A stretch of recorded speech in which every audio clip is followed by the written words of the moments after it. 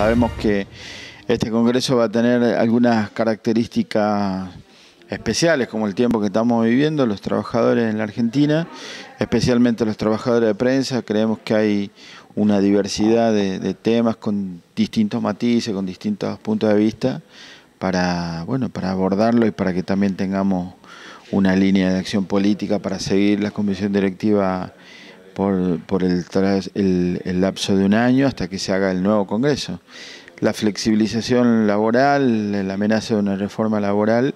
nos atraviesa a todos los trabajadores en general, los de prensa en particular. Creemos que es una de las actividades que más ha sufrido la dinámica del cambio en los últimos tiempos,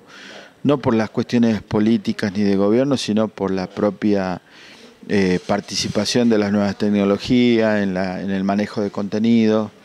los tipos de relación laboral creo que han tenido los empresarios de prensa o de los medios periodísticos han tenido eh, la mayor imaginación para precarizar trabajadores. Nosotros creemos que además las líneas editoriales de los medios tienen, están muy vinculadas y emparentadas con la política. Los trabajadores a veces quedamos presos de, esa, de esas líneas políticas, de esas líneas editoriales, perdón, que se traducen en política y se debaten ahí los, temas más eh, importantes de la política nacional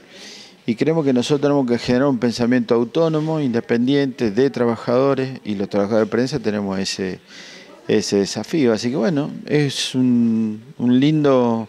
momento para sentarse a pensar, a, discutir, a debatir, a reflexionar. Para eso la invitación. ¿Va a haber invitados especiales también en este Congreso, como todos los años? Sí, va a estar algunos especialistas, como el caso de la compañera Luisa Contino, sobre el tema de la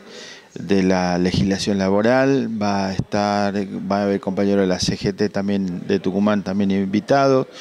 algunos periodistas también invitados, el nuevo obispo de Tucumán también va a estar con nosotros, me parece que la iglesia es muy importante, es un factor muy importante en nuestra comunidad, así que también vamos a tener la oportunidad de conocerlo mucho, de hablar con él tal vez. Así que bueno, me parece que es una cita importante y ojalá que haya muchos compañeros para que podamos nutrir las comisiones y sacar conclusiones que estén enriquecidas por la diversidad del pensamiento, por los distintos puntos de vista y experiencia que tienen los compañeros.